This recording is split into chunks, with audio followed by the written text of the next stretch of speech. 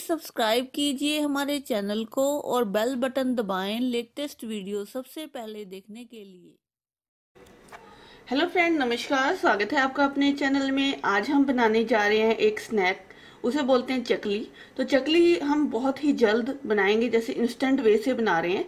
तो इसके लिए हमें चाहिए राइस फ्लावर ये मैंने 200 ग्राम चावल का आटा लिया है। और ये मैंने 50 ग्राम बेसन लिया है। 50 ग्राम के करीब बेसन है। जैसे कि जितना भी आटा ले रही हूँ, उसका चौथा हिस्सा हमने बेसन ले लिया है। आधा चम्मच हमने हींग ली है। आधा चम्मच हमने हल्दी ली है। आधा छोटा चम्मच हमने जीरा लिया है।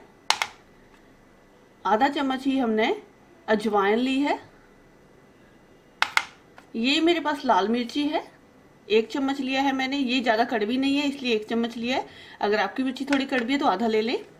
आधा चम्मच मैंने लिया है गरम मसाला। नमक अपने टेस्ट के अकॉर्डिंग लिया है।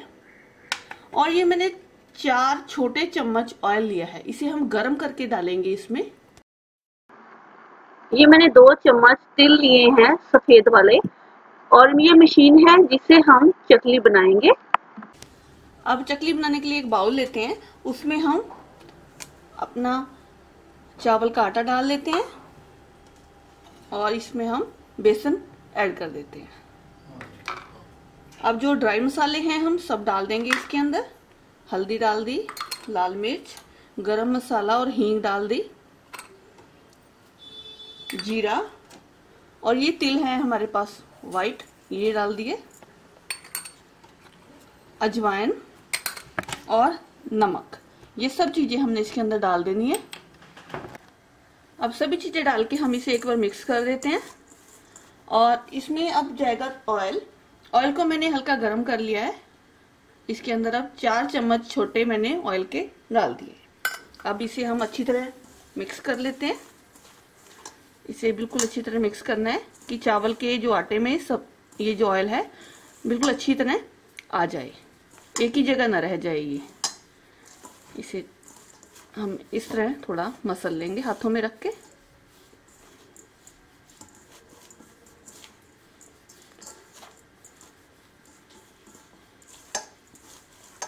लीजिए, ये ऑयल मिक्स हो चुका है।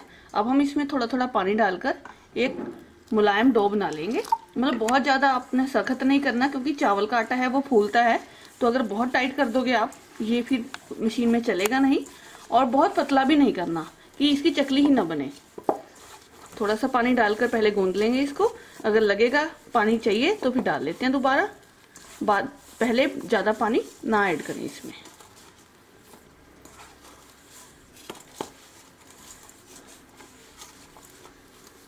अब ये डो हमारा रेडी है। अब इसमें पानी और नहीं डालना। इसको हमने ऑयल लगाकर, या थोड़ा सा बिल्कुल एक ड्रॉप पानी लगाकर इसको इकट्ठा कर लेना है।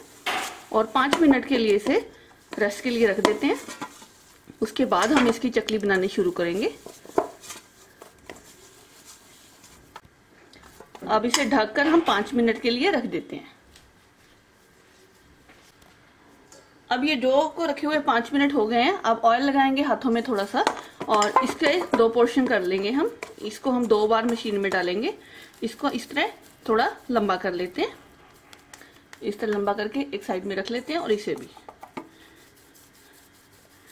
और अब हमने क्या करना है? जो मशीन की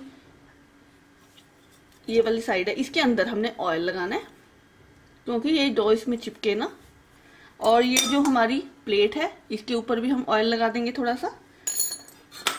और इसके ऊपर भी हल्का सा ऑयल हमने लगाना है। अब इस प्लेट को इसके अंदर सेट कर देते हैं।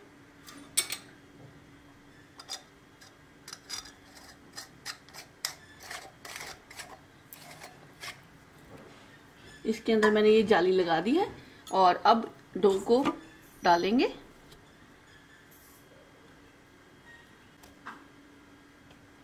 अब इसे बंद कर देते हैं।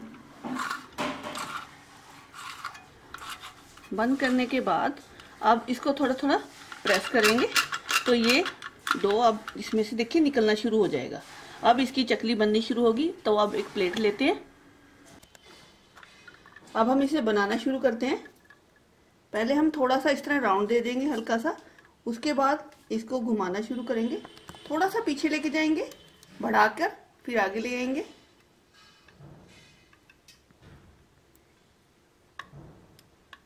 थोड़ा सा पीछे लेके जाते हैं और बढ़ाने के बाद इसको आगे ले आते हैं। ये देखिए, इसकी कितनी अच्छी शेप आई है, जो एज है इसका, इसको इसके साथ चिपका देते हैं।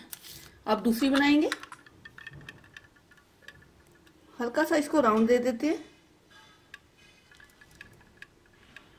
थोड़ा सा पीछे लेके जाएँगे।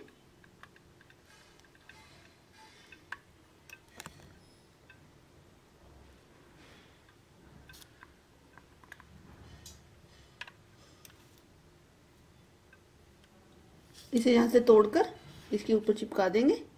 तो ये देखिए, इनकी शेप कितनी अच्छी आ गई है। ये चकलीज देखिए, हमने रेडी कर ली है। अब हम इन्हें फ्राई करेंगे। अब ऑयल हमारा गर्म हो चुका है। अब हम इसमें एक एक करके चकली को डालते हैं।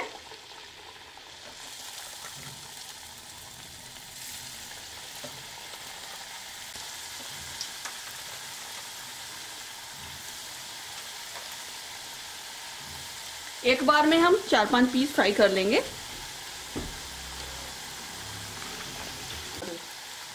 अब इन्हें हम पलटेंगे।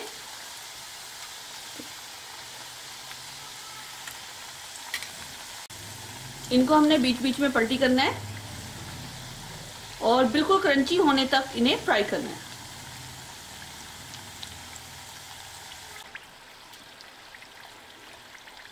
अब देखिए, ये बिल्कुल क्रंची हो गई हैं। और अब इसकी जो, इसमें जो तलने की आवाज़ थी, वो भी बंद हो गई है अबानी। अब हम इसे निकाल देते हैं बाहर और सेकंड लॉट को हम इसी तरह फ्राई कर लेंगे। ठंडा होने पे ये क्रंची बहुत ज़्यादा हो जाती हैं तो अभी गर्म को ना चेक करें। जब ठंडी हो जाएँगी थोड़ी सी तब आप इन्हें चेक करो।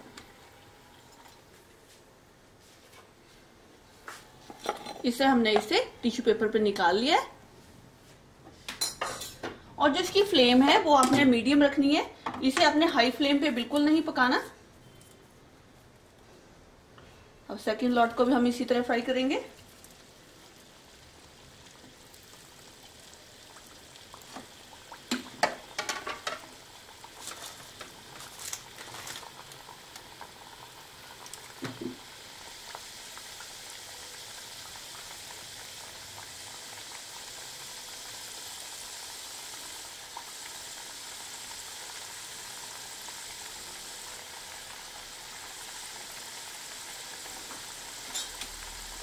जब ये हल्की सी फ्राई हो जाएँगी, ये अपने आप ऊपर आ जाती हैं तो आप इन्हें पलटोगे। जब तक ये ऊपर नहीं आती, तब तक इनको पलटना नहीं है बिल्कुल भी, नहीं तो ये टूट जाएँगी।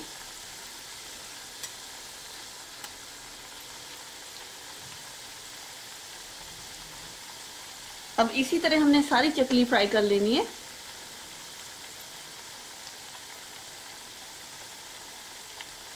फ्लेम को मैंने मीडियम रखा है, बिल्कुल। अब पहले लो रखा था, अब मैंने इसको मीडियम कर दिया। अब हम इन्हें हल्का सा चेक कर लेंगे, ये हो चुकी हैं ऊपर से। तो इसे हम इस तरह पलटी कर देते हैं।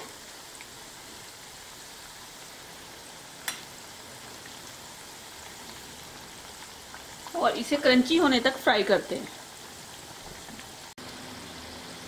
अब ये लॉट भी हमारा रेडी हो गया। अब हम इसे भी बाहर निकाल लेते हैं। तेल को आपने अच्छी तरह निचोड़ के निकालना है। अब देखिए, चकली को मैंने सर्व कर दिया है। ये देखने में कितनी अच्छी लग रही है।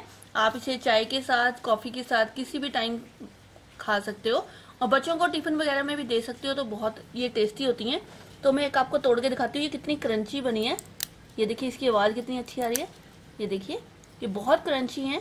आप इसे डिब्बे में स्टोर करके रख लीजिए, ताकि आप कभी भी इसे, इसका टेस्ट ले सकते हो।